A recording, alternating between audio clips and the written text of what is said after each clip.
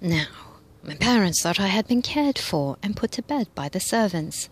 When I told them next morning what had happened, they couldn't believe it and took me to a doctor immediately.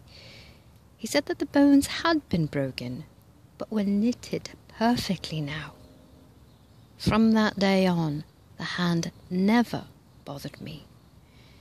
I merely cite a few of these instances as examples because they are so simple and so natural that all may do the same. I have seen where the building itself responded to the love poured out by an entire audience. As the immortal Gautama Buddha has said, quote, to give five minutes to the real realization of true divine love is greater than to pass a thousand bowls of food to the needy because in giving forth love you help every soul in the universe. It melts right down, of course, to the words we use and the thoughts and feelings that we have. Words are things. Thoughts are things. Where your thoughts are, you are. When we learn to discipline and control our thoughts and feelings and use only the positive, constructive words sent forth with divine love, our body and mind respond to that righteousness or right useness.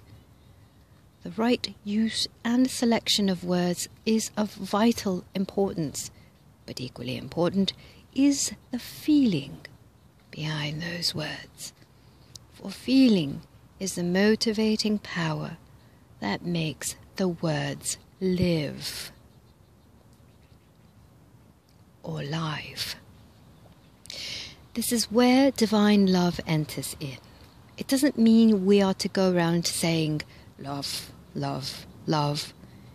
We speak the words once, with feeling, with vision, with conviction, with acceptance, and instantly the law moves into action to bring it into fulfillment. Before ye have spoken, I have answered. It is already there.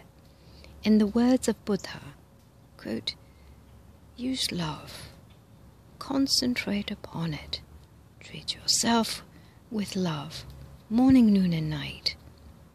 As you sit down to partake of your food, use love. Think it, feel it, and your food will taste a lot better.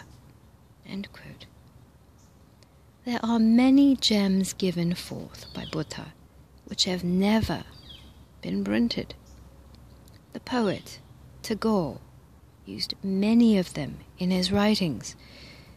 He was a man who knew how to use and express love. He knew it.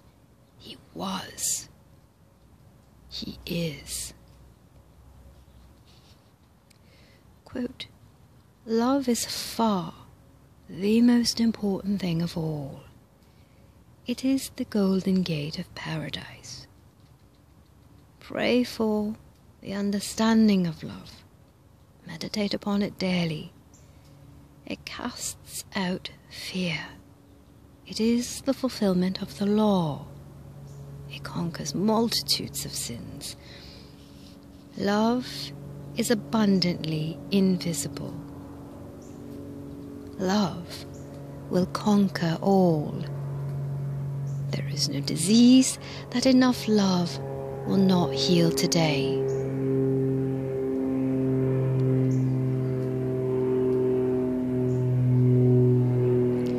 Door that enough love will not open.